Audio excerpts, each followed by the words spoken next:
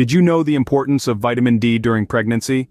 This sunshine vitamin often overlooked plays a pivotal role in the health of both mother and baby. It's thought that many pregnant women may be deficient or insufficient in vitamin D, a concern that has led to suggestions of supplementation during pregnancy as a preventive measure against adverse outcomes. This brings us to the crux of our discussion today. A study has been conducted with the objective to examine if oral supplements of vitamin D, either standalone or in combination with other vitamins and minerals, can safely enhance maternal and neonatal outcomes. The emphasis here is on safely, because while the goal is to improve health outcomes, it's equally important that these supplements do not introduce any new risks or complications. Now let's delve into the methods of the study to understand how the researchers arrived at their findings. The researchers left no stone unturned in their pursuit of answers. They dug deep into the Cochrane Pregnancy and Childbirth Group's Trials Register, the International Clinical Trials Registry Platform, and the networked digital library of theses and dissertations. They were hunting for randomized and quasi-randomized trials that evaluated the impact of vitamin D supplementation, either alone or combined with other micronutrients, on pregnant women. They didn't just accept any study. The trials had to meet specific selection criteria and had to involve randomization at either the individual or cluster level. Two review authors meticulously assessed the eligibility of studies, extracted data, and evaluated risk of bias.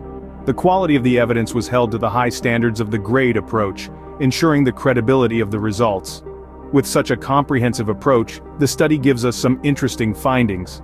So, what did the researchers find? Well, the study investigated the effects of vitamin D, both alone and in combination with calcium, on pregnant women and their babies.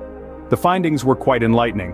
When vitamin D supplements were taken alone, particularly on a daily basis, they significantly increased the levels of 25-hydroxyvitamin D, or 25-OHD, in the mother's blood. This is a marker of vitamin D status, so it's a good sign that the supplements were effective. Moreover, vitamin D supplements taken alone also reduced the risk of preeclampsia and preterm birth. Preeclampsia is a serious pregnancy complication, and preterm birth is associated with a higher risk of mortality and morbidity for the infants, so these findings are really important. In addition, it was found that vitamin D supplements alone increase the length and head circumference of the infants at birth. These are indicators of growth and development suggesting that vitamin D may contribute to healthier, more developed newborns. When vitamin D was supplemented with calcium, the risk of preeclampsia decreased, but the risk of preterm birth increased. This indicates that while the combination can have benefits, it may also pose some risks. These findings, however, come with some cautionary notes. The quality of the trials was mostly unclear or low, which may affect the reliability of the results. Moreover, the clinical significance of the increased serum 25-OHD concentrations is still unclear.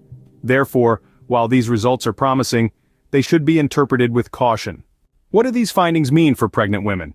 This question might have been swirling in your mind as we delved into the details of this study. Here's what we gathered.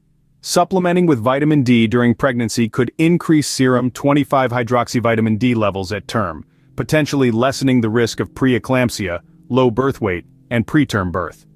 These are significant findings, considering the serious implications of these conditions for both mother and child. However, it's worth noting that when vitamin D was combined with calcium, an increased risk of preterm birth was observed. This suggests that the interplay between these nutrients might have unexpected outcomes, and thus warrants further investigation.